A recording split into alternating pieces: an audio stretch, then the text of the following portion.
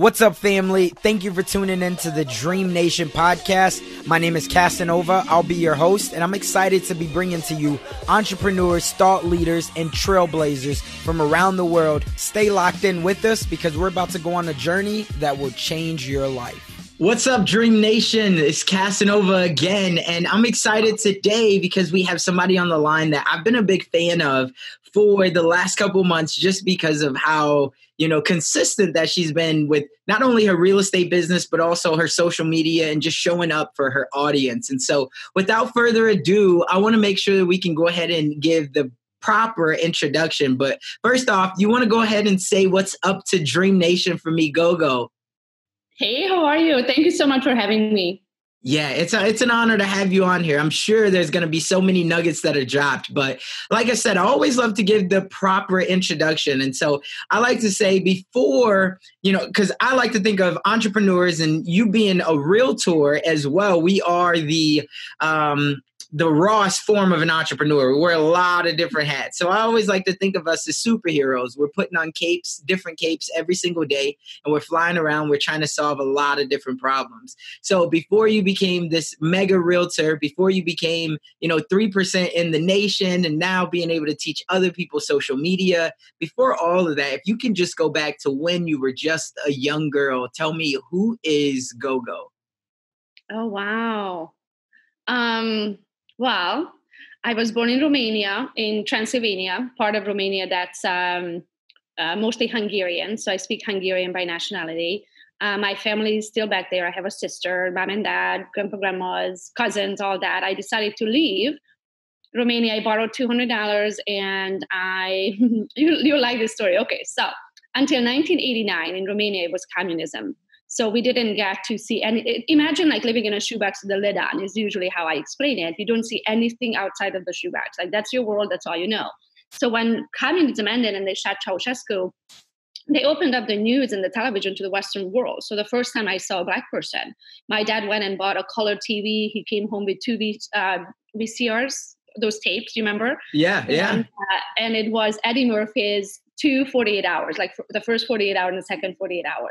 And I remember standing in front of the television and just being glued to it. And I'm like, what is that?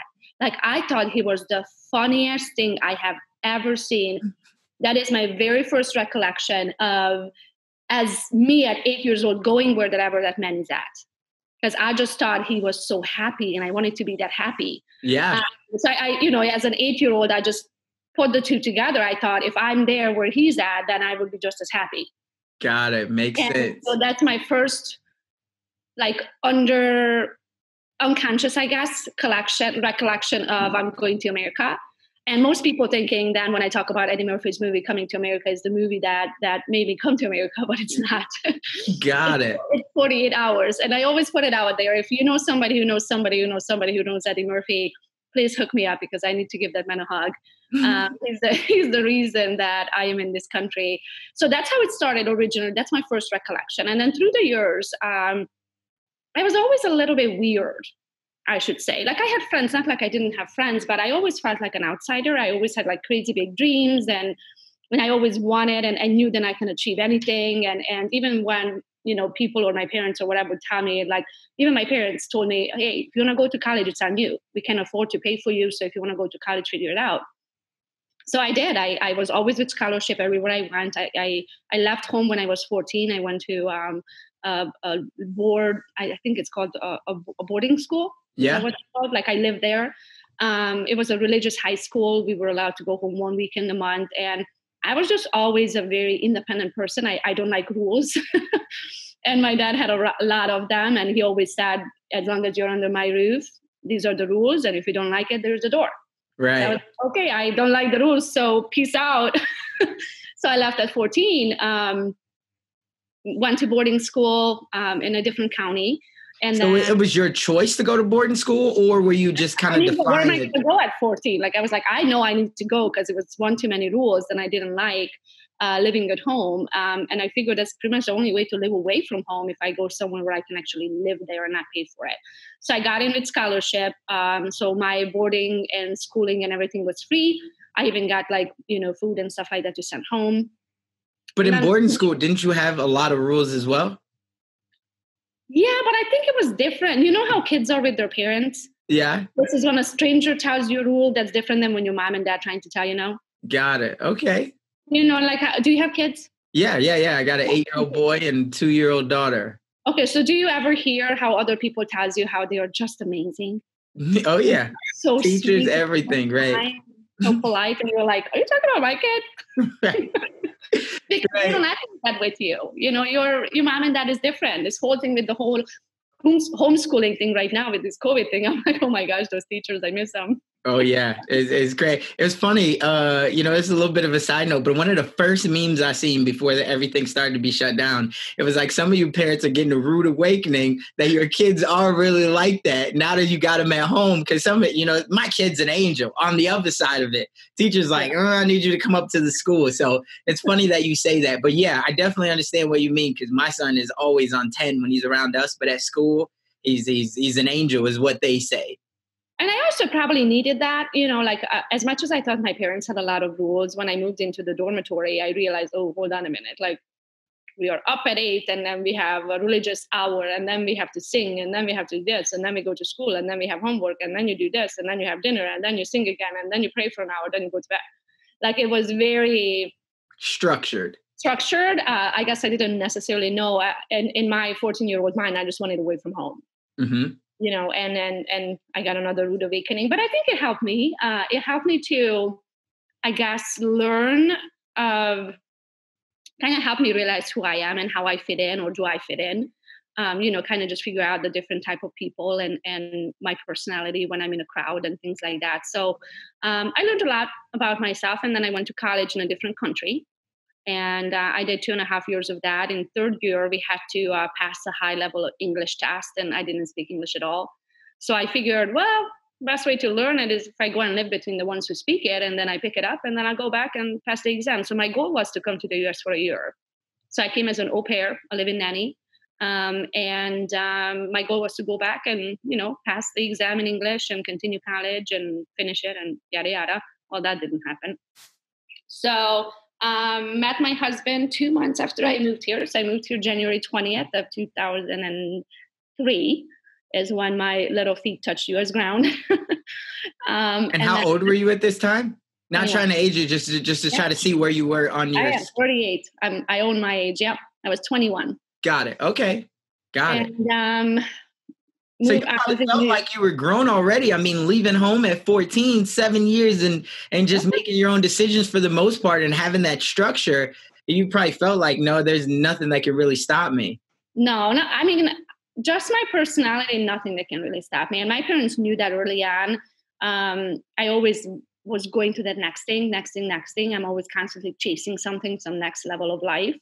Um, and I think eventually they just caught on. There's nothing they can do to stop me. They have to, you know, let me live my life. And and and thankfully, they are the parents who they are because I wouldn't be who I am today if it wasn't for their um, ability to allow me to be me you know where some i mean i'm a mom now so i see how what i think it's happiness is how we are un- unconsciously kind of forcing it onto our children uh, wanting them to be happy. And since this is how i know happy i think this is how everybody's happy.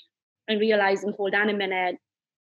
My son is totally different Right. And I think that's so powerful that you say that because for so many people, um, myself included, we think that we already know and we try to protect our children and we try to force on, just like you said, the happiness. And so for you being able to grow up that way, I think that it probably helps you in so many ways. And so for another parent that's listening right now, you know, that could be some really, really valuable advice of even at the age of 14, where your kid's like, you know what, I'm I'm leaving, I'm going away. And and most parents, I would say 90, 95% of parents would probably say, no, absolutely not. Not unless you were a really bad kid. They were like, please go right, right. Like we don't have a choice anymore. It's either that or or in jail.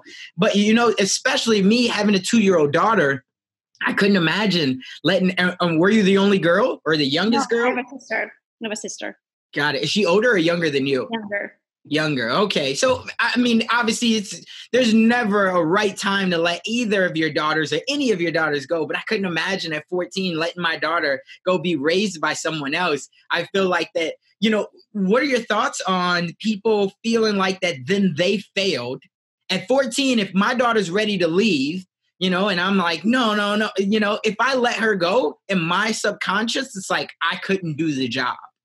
Yeah. Well, I are we gonna go deep here? It is gonna. Yeah, yeah. Let's let's do it. I, I love it. My thank God my parents don't speak English. Um, they're going to hear this one day. I grew up, my dad is an angel now, but back at the time when I was a child, he was an alcoholic. And I think it was because um, he has that entrepreneur mentality. But when you're living a life in communism, you're not allowed to do anything. You do everything for the commune. So you can do whatever you do. You can pull your weight a hundred times over somebody else. Everybody gets paid the same amount. Mm-hmm. So there was no way for him to express his entrepreneurial skills. And because of that, I think he had really nothing. There was no concerts, there was no movies, there was no nothing. Like there was nothing else to do but go to work and go home and drink your pain away. And I think that's where it came from for him is not being able to express himself the way he likes to live life. So he was an alcoholic. And my dad, when he's sober, he's the biggest sweetheart, but when he's drunk, lights are out.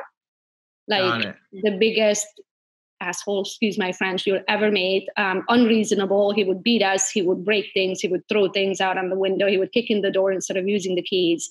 Um, that kind of stuff. And, and my mom and my sister are more quiet and they can take that kind of behavior. I would be right there in front of him and just you know hitting back when he hits me and and i knew that is not it would have not ended well if um if i stayed there longer especially as i was growing and i was you know getting some power over him uh, I remember one time being in a big fight and like literally fist fight and I was on top of him. And I remember looking over we fell down and next to a table and I remember looking over the top of the table to see if I could grab something. And wow. and that is my recollection and I need to get out of here because it, his behavior will never be okay with me and I also had so much anger towards it that I didn't know if I could stop myself in a situation like that. So that that's one of the reasons why I was out of there at, at 14 because I couldn't I couldn't take it. My dad now is an angel. He hasn't drank in years. Uh, he turned his life around. He's an entrepreneur now, owns multiple businesses, multiple homes. He does very well now, but that that wasn't my childhood. I think it's an Eastern European thing. My parents never told me they love me or they're proud of me. There's no like words of affirmation. There's no hugs. There's no touch. There's no nothing. Like there's nothing. It's it's a very cold, um, kind of way of, of, raising children. And I guess that's why I say that I never belonged there because my sister and I, we have the same set of parents, we ate the same food, we were raised the same way, and she was perfectly fine with that, where it always bothered me. Growing up, and I and I, and this is where I say it, Tony Robbins is where I and I came to this conclusion at UPW. Um, I held it against my parents my whole life of how they didn't love me. I thought I was adopted. I thought something's wrong with me. Maybe I'm not lovable. Blah blah blah. And uh, Tony Robbins at UPW, I figured out, he says, and if you're holding something against someone, they did or they didn't do to you. In my case, they didn't. They didn't love me. Then you ask, then you also have to give them credit for what you became of it. Hmm.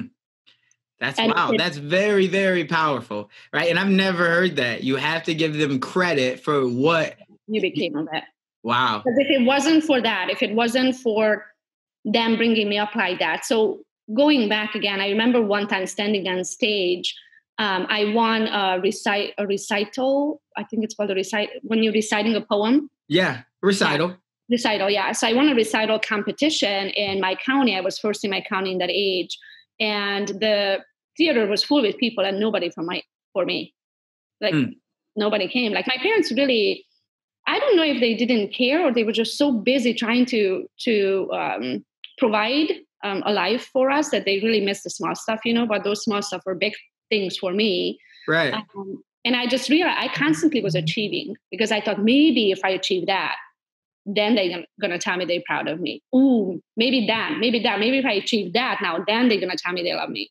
So Did I you ever voice that to them? No, like was it not mm. growing so you kind of just held it. So by the time that you became really in your mind a grown woman it was kind of almost that you had a lot of resentment towards them and you were like i'm gonna show you.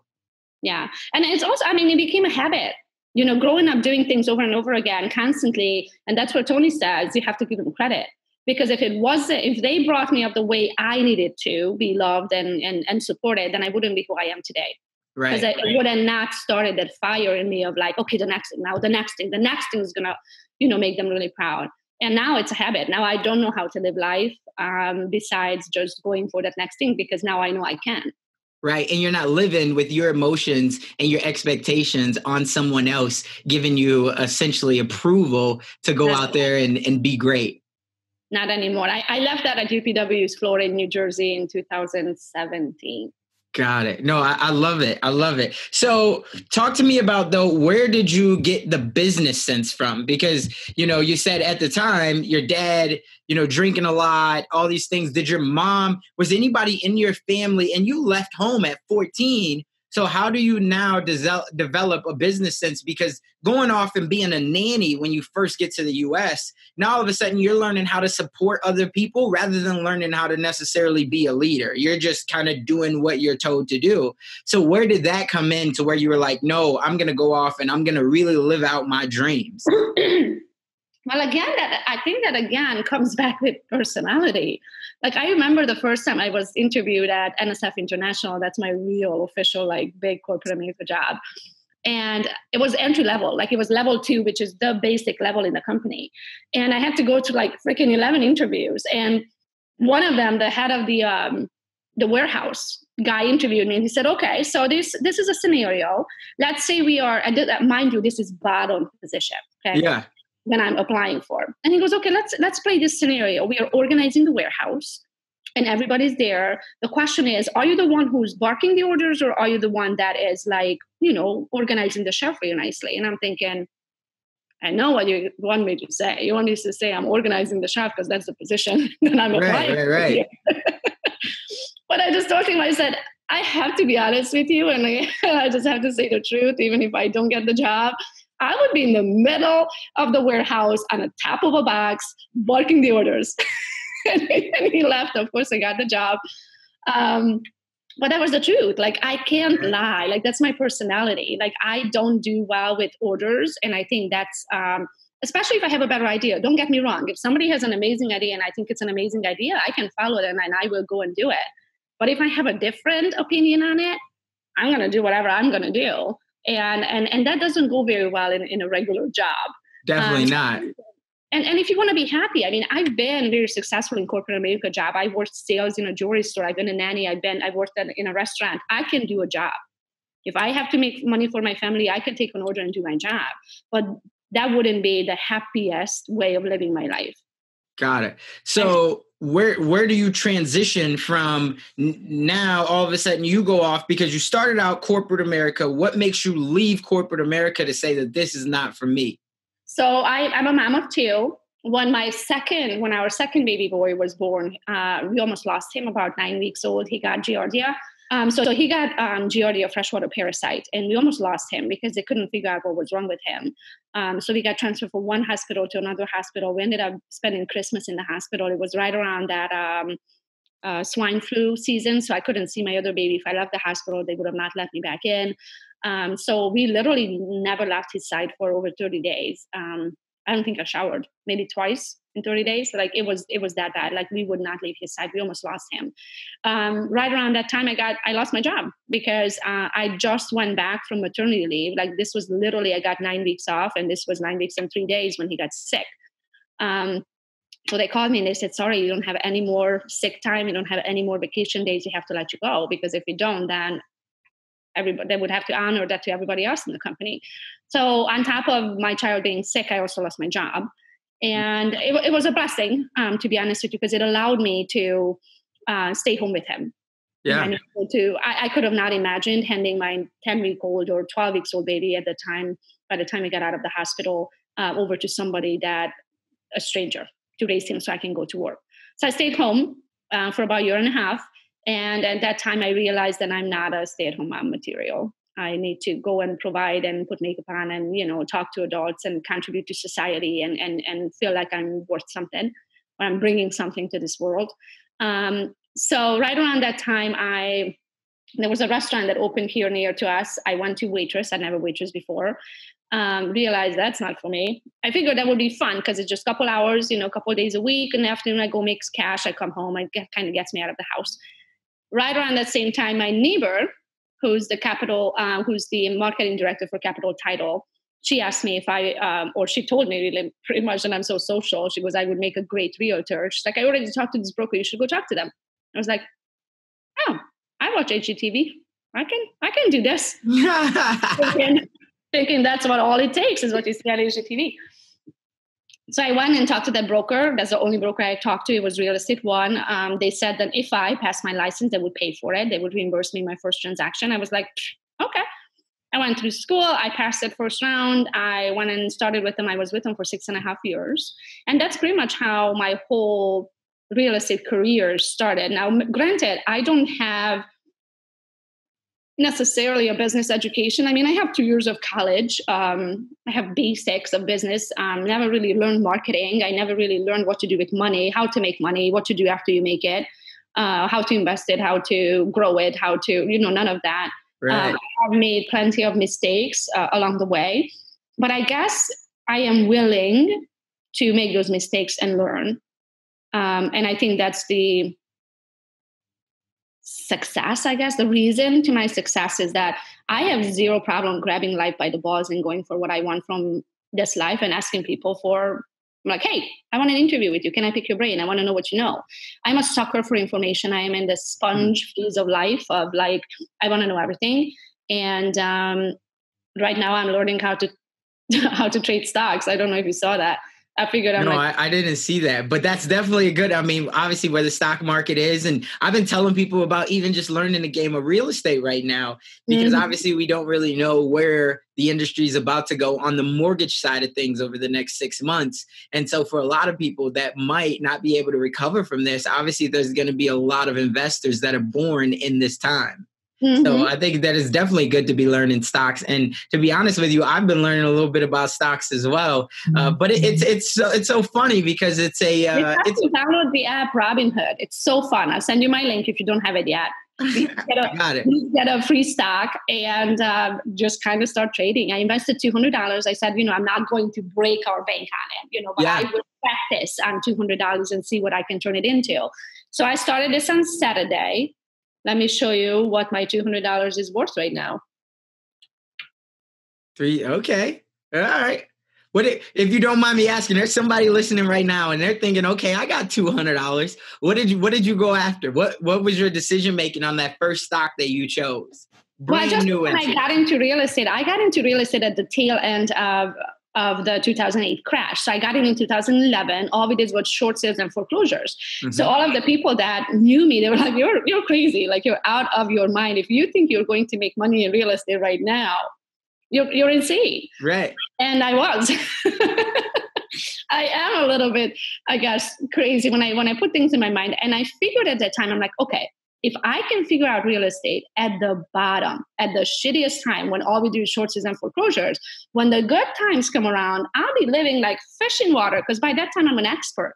Right. That is exactly what happened. I, you know, I hustled in my very first year. I made sixteen thousand dollars in commission all year. Granted, I didn't work full time. I worked, you know, when in the evenings when my husband was home with the children and on weekends.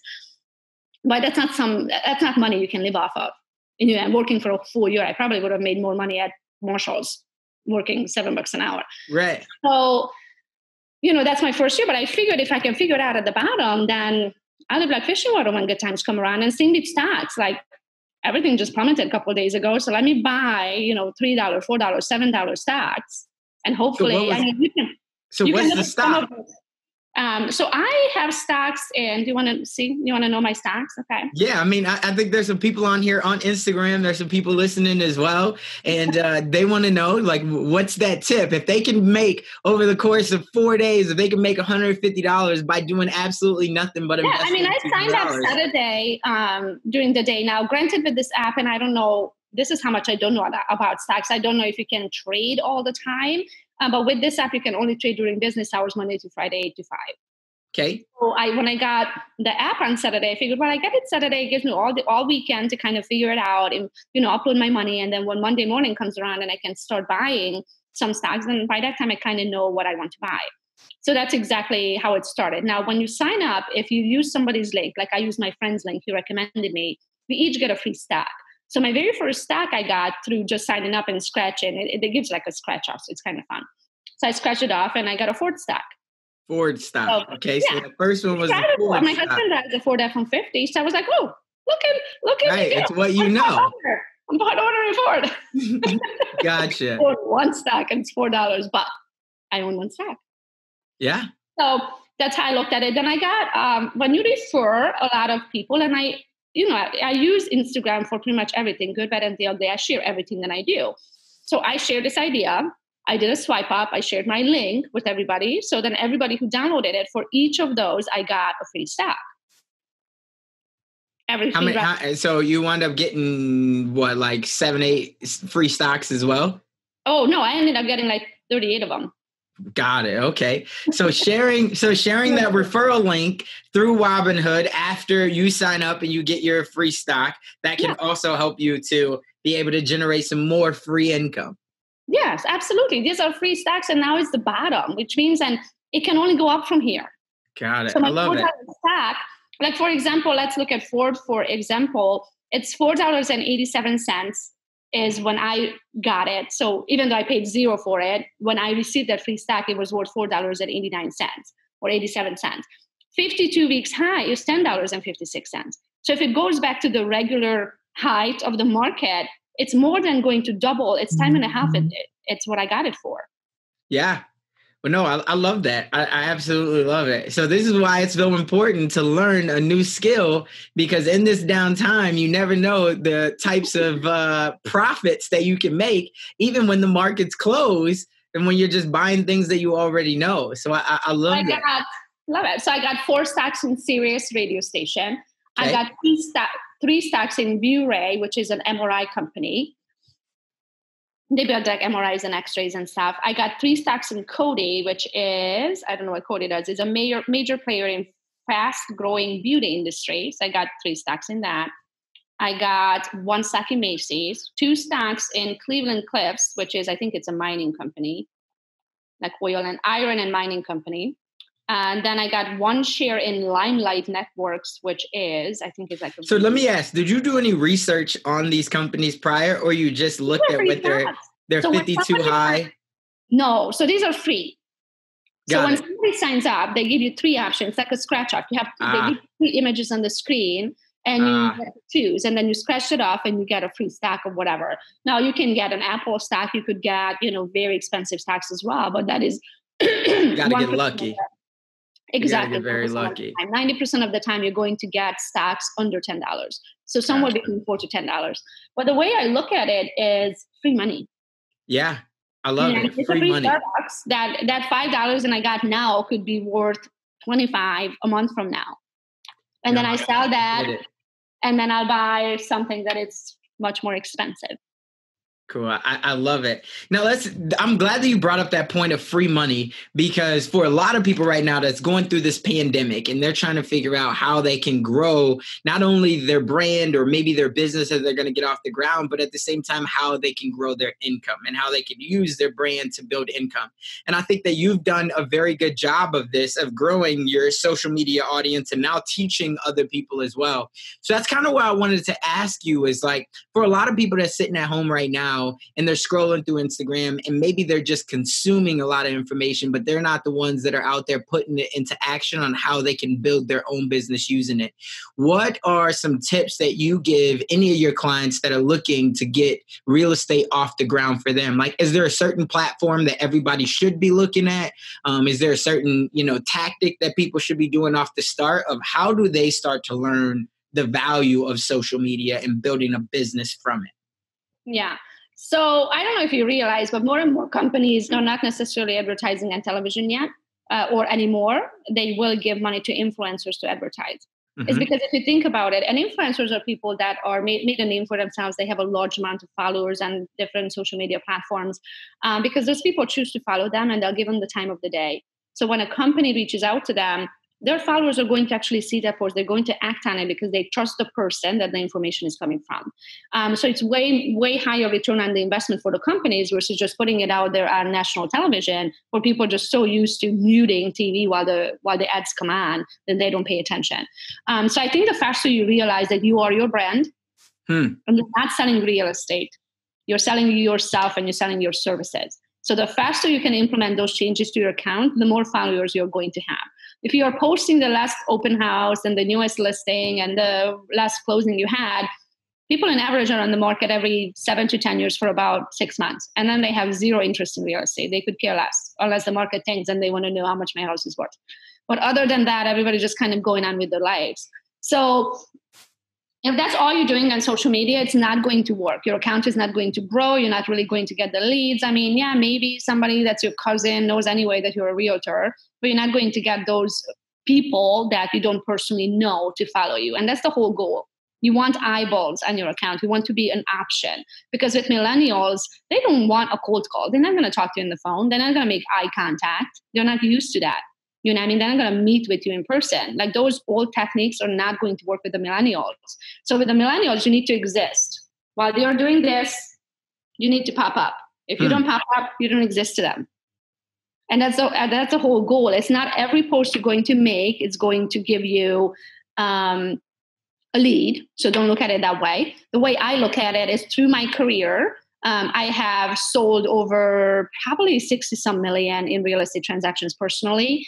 And for that, how much money did I make? Because everything I do comes from social media. Now I hmm. also have about even 11 different sources of income, most of them, most of which are passive. Um, Warren Buffett and you know Tony Robbins also say that the average multimillionaire or billionaire has seven different ways of income, six of which are passive. They only hmm. trade their own time for one. And if you are trading your time, for something, eventually you're going to run out of time. So, in order to make money, you have to charge more, you have to sell a higher ticket item, or you have to make more time. And you can't make more time unless you work yourself to death. We all only have 24 hours a day. Um, so, I figured out I have to be able to make money while I'm sleeping. If you Got think it. that, right? make a social media post. Let's say I make it at 10 o'clock this morning it's that still going now, right now. It's going to work two years from now when you see it. It's going to work two weeks now when you see it. It's going to work whenever the other person sees it. That social media post always working for me. I only worked for that five minutes when I put it up there, but that post will always work for me. I got it. I love it. Now, let me ask Is there one platform that you think right now is either undervalued or underserved?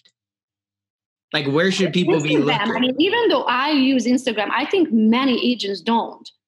And the biggest, I mean, TikTok, yes, TikTok has a large platform. It's probably larger now on the world than any other platform, but they're all teenagers. They're not going to be buying houses anytime soon.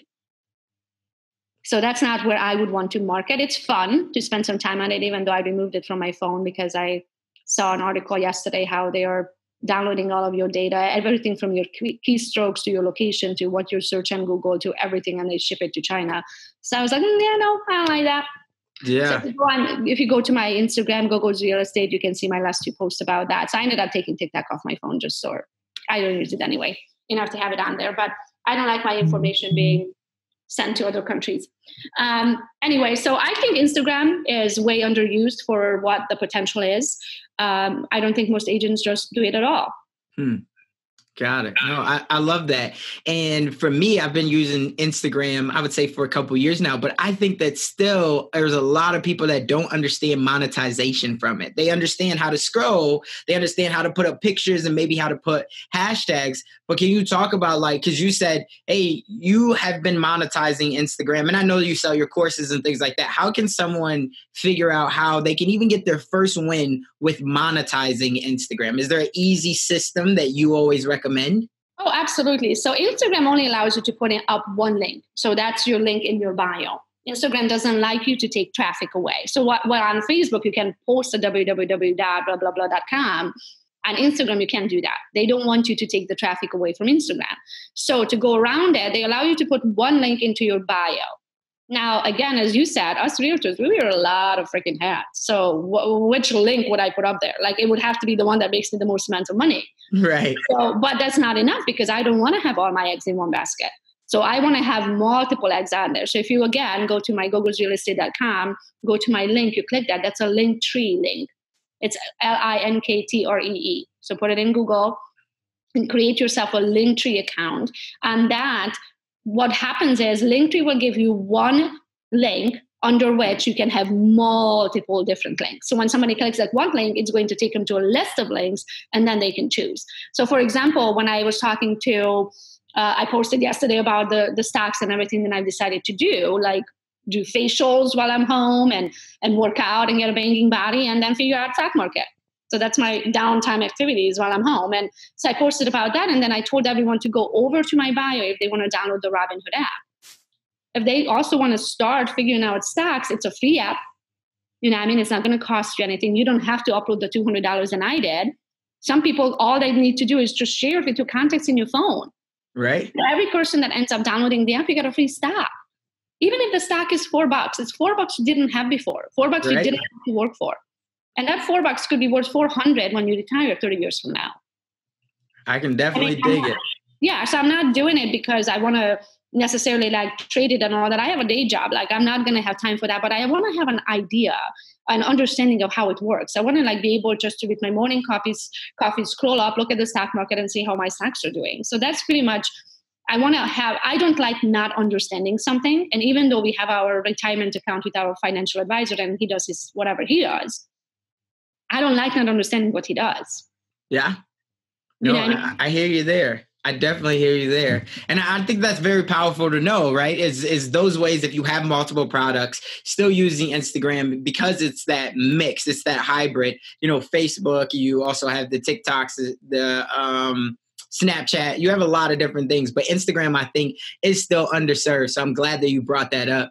Um, for anybody that right now is wondering where can they get their start in learning business have you ever had you talked about tony robbins uh, upw but is there anybody that you would consider besides tony robbins that's been a big mentor for you that has like maybe a book that's out that you would recommend reading or a podcast that you would recommend listening to Oh gosh, that's a loaded question because I have so many. I feel but like we I only want one. We only want one. You can give one. Oh my gosh. Uh, okay, well, book. Um, as much as it, okay, I believe that a business sense it, it truly comes from believing in yourself. You know, and for that you have to go through a lot of soul searching to figure out who you are. Um, one of my favorite books that it is a business book, um, but it is also a motivational kind of self searching book. It's called um, uh, the hold on, the greatest salesman in the world. Okay. It's a small little pocket book. It's about you know yay big, literally fits into your pocket. Um, it starts out slow. It starts out in Jesus's era, and um, my mentor at the time recommended it to me. This was probably 2015 or so. And I was like, seriously, like, this is the slowest book, and it's about Jesus's age and era, and how is this going to relate to business? Like, I don't get it. And then when you get to the scrolls, there's a bunch of scrolls in the book that you need to read. Now, then it gets really good. Got and it. My favorite book about uh, it's a go-to. I, I grab it all the time and just kind of open it. I believe that God will show you what you need to read. So I usually just close my eyes, open the book, whatever it needs to open, and I read that part. I read it over and over again.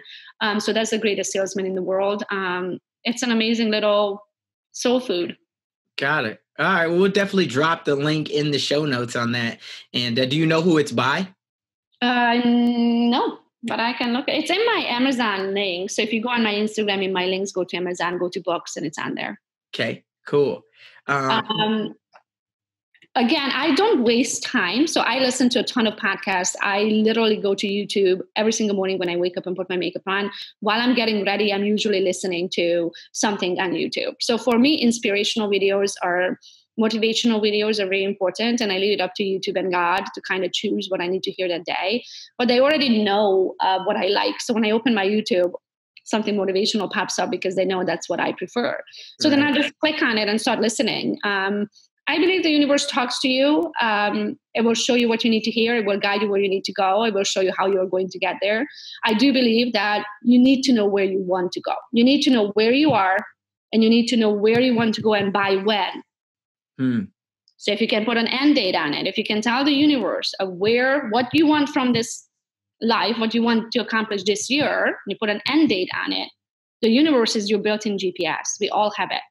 I love it. Take you from A to Z, but you need to know what A is where are you and you need to know what z is where you want to be and by when and it's going to guide you there and these motivational videos and stuff are helping me grow to become the person i need to be to go to that next level because you can't stay who you are and expect a different level of life i love it I love it.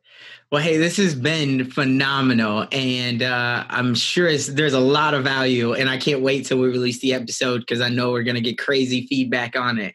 But let me ask for anybody that is inspired right now, they're ready to to go take action, take life by the horns. They've come from a situation that's similar to yours, but now they're really looking to make sure that you know within seven years they can be out there, and and even shorter time than that, they can really be taking life by the horns. But they have that young they have that little voice in their head, right, that says that they're not strong enough, maybe they're not smart enough, or they just don't have enough resources. What's the one thing that you say to that person to get them to just take action? That your own internal voice has to be louder than that little voice on your shoulder. You have to know who you are. As soon as you believe in yourself, there's nothing anybody can say that you can or cannot do. You're going to go and do it anyway. Like I joke around, I said, I'm going to go do it twice and take photos and post it on Instagram while I'm at it. Hmm. Because I hmm. believe whatever I set my mind to, if my internal gut feeling, gut feeling tells me I can do it. Also, I believe God wouldn't put an idea in your head if He doesn't believe that you already have the skills and it takes to get it done. Hmm. Wow. Otherwise, He would have given that idea to somebody else. So if that idea popped up in your head, it is the universe, it's God, is the mother nature, is the higher power, whatever you call it it, it given it to you because you have the skills to make it happen. Now, do you have the guts to make it happen and go for it? That I don't know. Some people will give up on themselves. Some people will grab life by the balls. I definitely grab life by when when I die. I don't want to look back and and be like I didn't do. I wish I did that. I rather fail at it ten times and be like I tried it. I gave it all I freaking got. But I want to be proud of myself at the pearly gates if I ever make it and I want God to be proud of me, then I put every skill that He provided me with to good use on this earth. I love it. Well, there you have it, people. Hopefully, somebody's listening at this right now, and this is all they need to hear to, as you say, take life by the horns or, or take the bull by, by the, balls. balls. by the balls. Right? Yeah. No, this has been this has been amazing. Well, thank you for anybody that wants to stay connected with you. Where can they find you at? The quickest is GoGo's Real Estate on Instagram. Got it. There you have it. GoGo's Real Estate on Instagram. This has been a phenomenal episode. Until the next time, I want to say thank you for coming on and joining us. And remember, Dream Nation, in the dream we trust, but we must take action. Otherwise, it will only merely be a fantasy. That's the episode for today. Let me know if you got any value out of this, if you liked anything about it. Reach out to me on Instagram or Twitter any of the social media networks. And of course, leave me a review iTunes, Stitcher, SoundCloud, wherever you're hearing this at. I would love to have a review to show, you know, what you're getting out of this. Is there anything that I could do better? Is there any way that I can add more value to you? So hopefully, you all take some action today. That's my show. I love you all. Be great. But remember, we must take action.